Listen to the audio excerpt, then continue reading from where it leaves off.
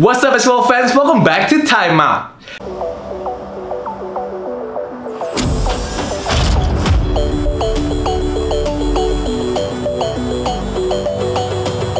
Balik lagi dengan Gorky Padilla dan di video kali ini kita membahas kira-kira apa sih kunci dari dua kemenangan awal Louvre Surabaya di IBL seri pertama Semarang. Luar biasa sekali, debutan di IBL 2020 Louvre Surabaya berhasil mengalahkan dua tim tangguh menurut gue di awal uh, karir mereka di IBL yaitu uh, mereka mengalahkan Bima Perkasa Jogja di hari pertama dengan skor 81-71 lalu hari ini lebih impresif lagi mereka mengalahkan tim kandidat juara gue yaitu Prawira Bandung dengan skor 81-79 game seru banget dan tadi gue tegang-tegangan banget karena menurut gue gue juga agak kaget jujur aja uh, Louvre bisa mengalahkan Prawira Bandung kan kita tahu materi pemainnya Prawira Bandung ini bagus-bagus sekali dan juga mereka dilatih oleh Coach Gibi tapi Coach Bedu luar biasa juga hari ini berhasil memimpin anak-anak buahnya untuk berhasil mengalahkan Prawira Bandung. Oke, kita ngomongin kunci kemenangan dua game awal ini menurut kacamata gua.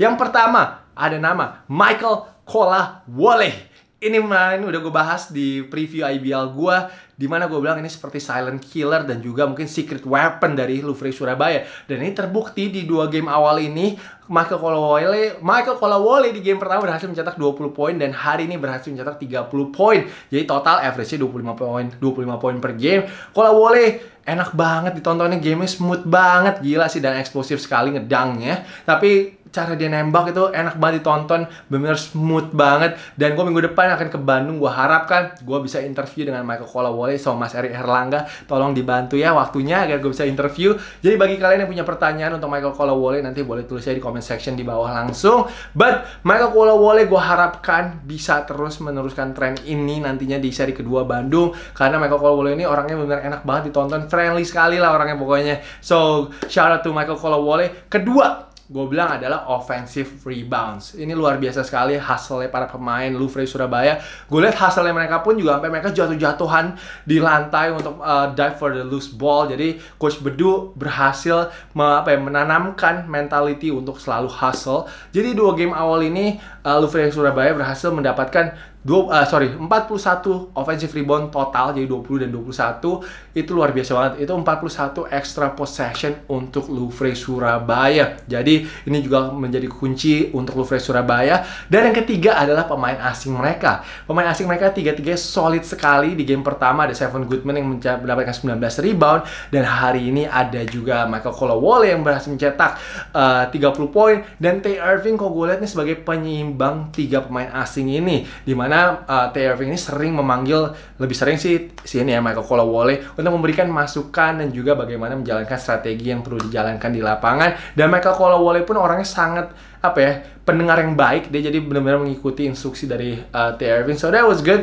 Jadi tiga pemain asingnya uh, Louvre Surabaya seperti gue bilang kemarin ini di prediksi gue memang sangat solid sekali pilihannya. Kita tahu juga Seven Goodman udah punya pengalaman juara di IBL T. Irving pun juga udah punya pengalaman juara di IBL jadi ini hal yang luar biasa sekali untuk Surabaya. Surabaya ini bonus lah uh, pengalamannya mereka but kita ngomongin sekarang pemain lokal pemain lokal mereka memang belum terlalu step up banget di dua game awal ini tapi gue hari ini suka banget dengan permainannya Mas Wenda. Mas Wenda poinnya nggak banyak dan kalau nggak tadi dia 7 rebound, tapi yang pasti di lapangan tuh dia tenang banget. Dan tadi kalau nggak salah ada satu uh, tembakannya dia yang lumayan clutch di kuarter keempat. So jadi uh, shout out juga untuk Mas Wenda Wijaya. So ini Louvre Surabaya sekarang pasti sudah menarik perhatiannya banyak orang. Mereka udah tidak bisa dilihat sebagai tim debutan lagi karena memang coach Bedu ini adalah salah satu coach muda dan sangat pintar sekali untuk me, me, apa ya, meracik sebuah strategi. Itu kenapa Mas Erik Erlangga waktu itu mengambil uh, coach Bedu untuk memulai debutnya Louvre Surabaya. Jadi,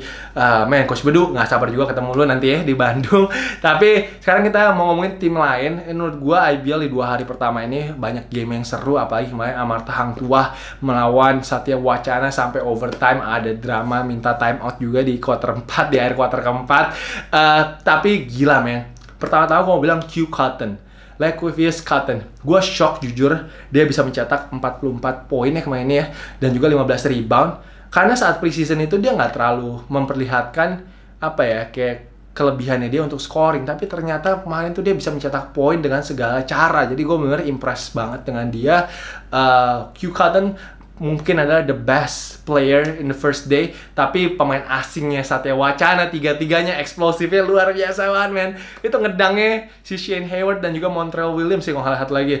Itu gokil banget ngedangnya men. Itu udahlah masukin semuanya aja lah ke slam dunk contest gokil banget. Dan itu kemarin gue lihat penonton di Semarang benar merasa terhibur sekali eh gue juga gak sabar sih pengen nonton mereka dan pengen motret mereka. Semoga bisa motret mereka saat ngedang. So itu aja sih review gue di dua hari pertama. Kemarin juga sempet rame karena IBL sudah membuka voting untuk All Star. Sedangkan gamenya baru mulai kemarin jadi orang-orang pada bingung kira-kira mau voting siapa. Tapi memang kok voting All Star itu kan lebih ke apa ya kayak ke popularity contest gitu ya. Jadi pemain yang lebih populer biasanya akan masuk ke IBL All Star. Uh, eh, gue belum voting sih tapi nanti gue akan voting. Mungkin nanti kalau gue udah voting gue akan share ke kalian juga. So guys kasih tahu dong kira-kira di dua hari pertama ini walaupun hari ini belum selesai ya kira kira-kira menurut kalian game apa yang paling seru dan paling siapa yang paling mengejutkan untuk kalian? Kalian bisa tulis di comment section di bawah. So guys thank you banget. Itu aja video pendek gue hari ini untuk react kepada kemenangannya Louvre Surabaya. Mereka di Bandung ntar lumayan berat juga lawan Satria Muda dan juga tim nasional Indonesia. Man that's gonna be so exciting. Apalagi kita tahu coach berdua ada koneksinya dengan Satria Muda. Wah kalau ada yang tahu kalau ada kalau orang yang nonton pasti ada yang ngerti lah kalau ada yang ngerti antara Bedu coach Bedu dan juga Satria Muda. But that's all for today. Jangan lupa untuk like jangan lupa untuk comment and jangan lupa untuk subscribe. Thank you for watching. I'll see you guys next video. Peace